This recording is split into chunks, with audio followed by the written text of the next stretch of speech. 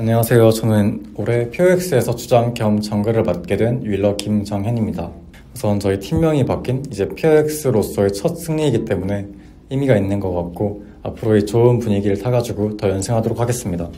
어, 전 솔직히 더 이상해질까봐 좀, 좀 이상해질까봐 걱정을 좀 했었는데 POX에 딱 들었을 때 팀명 너무 괜찮은 것 같고 이 로고도 사막류 너무 예뻐가지고 좀 마음에 듭니다. 예, 어, 상당 이름이 저희가 이제 새로운 시도를 좀 많이 하다 보니까 뭐 처음 들었을 때 뭐 이상한 후보들이 좀 있었는데 구체적으로 기억이 잘 안 나는데 무슨 V3였나 뭐 그런 V2 뭐 그런 비슷한 였던 것 같은데 저는 그런 류는 아니라서 좋네요.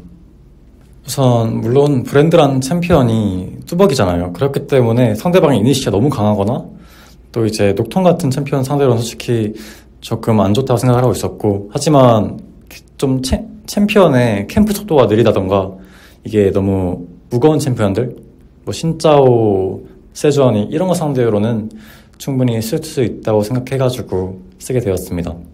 어, 다른 팀들도 브랜드 정글에 대해서 긍정적으로 생각하는 팀이 분명 있을 거기 때문에 앞으로 이제 저희 팀 말고도 브랜드 정글을 조금 더 많이 만나실 수 있게 될 것 같습니다.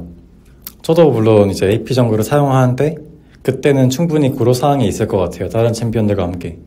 우선 펫 데미지가 늘어나는데 이거 굉장히 너무 편한 것 같고요. 여러 가지 챔피언들을 사용할 수 있는 그런 분기점이 될 수 있을 것 같고 또 이제 유충이라는 오브젝트가 새로 생기게 되었는데 이 유충이라는 게 사실 팀마다 티어 정리가 좀 다를 것 같은데 6유충을 먹었을 때 딜러들이 타워 치면 굉장히 타워 철거 속도가 빠르더라고요.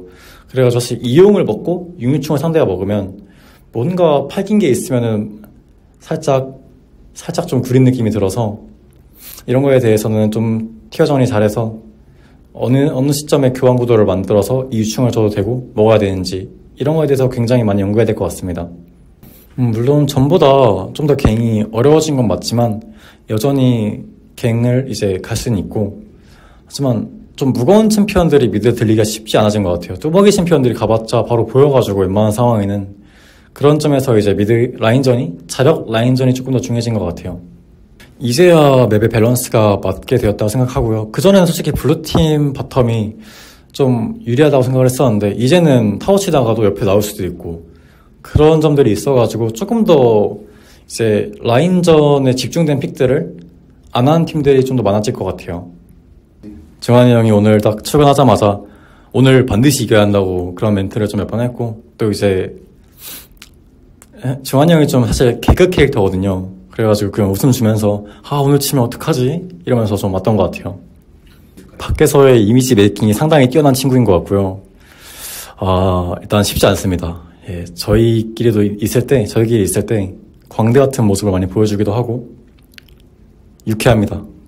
저는 일단 사실 제가 저를 돌아봤을 때 initi를 여는 챔피언들이나 그런 initi를 열어야 되는 상황 때 조금 부족한 면모들이 있던 것 같아서 이 점을 최대한 또 연습을 해서 그만큼 신경을 써가지고 이 능력에 대해 기르고 싶고 또 저희 팀이 잠재력이 굉장히 좋은 팀이라 생각해요. 제가 잘하면. 그래서 제가 플레이적으로도 좀 운영적으로도 잘 맞춰가면서 저희 팀의 최종 목표는 이제 롤드컵 진출 그 위로는 우승인 것 같습니다. 아니요 아니요 그 이후로는 솔랭에서 만나는 거 밖에 없고 음, 자리는 딱히 없던 것 같아요. 만날 자리는. 늘 저도 보면서 경기 보면서 귀감을 얻고 있습니다. 네, 오늘 경기에서 승리할 수 있게 도와주신 팬분들 너무 감사드리고 앞으로도 저희 POS 경기 최대한 재밌게 신나게 할 테니까 많이 응원해 주셨으면 좋겠습니다. 항상 감사합니다.